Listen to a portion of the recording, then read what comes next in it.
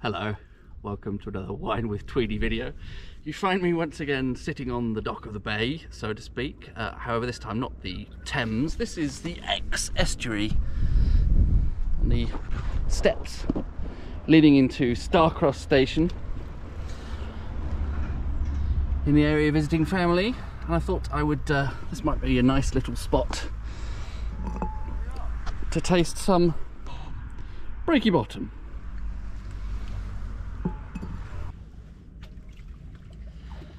Definitely a uh, temptation to sabrage this, but uh, once again, you know, in a public place, seems a bit inappropriate. People walk their dogs down here. Not at the moment, it's, uh, it's high tide. Can't really get much further than the bottom of these steps.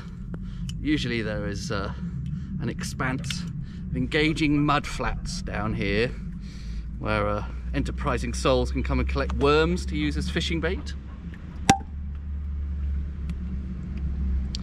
Brought along with me the 2014 Michelle Moreau, Cuvée Michelle Moreau from Breaky Bottom. This is one of my favourites actually, really lively, vivacious, full of joy. Cheers. I've had this a few times before and uh, always sort of somehow gives a kind of a citrusy note that's going into orange. It has this really nice kind of summery. Hmm. Like I say vivacious lively full of life sort of a, a wine. This um you know slight sort of tangy kind of bitterness um, something like um, something like orange bit of almost hint of marmalade or something. Beautiful texture on the palate very fine bubbles.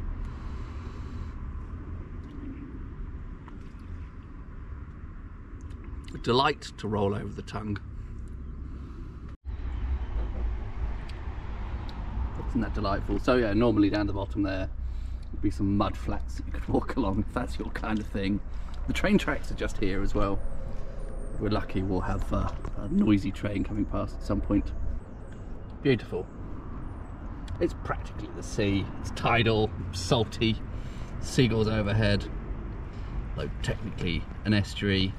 Lovely spot for a glass of Breaky Bottom 2014 Cuvée Michelle Moreau. Here comes a train for any uh, would-be train spotters among you.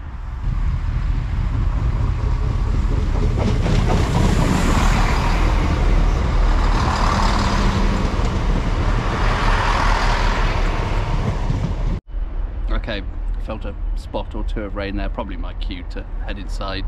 Um, yes, wonderful as ever, Breaky Bottom. Cuvée Michelle Moreau, 2014, wonderful.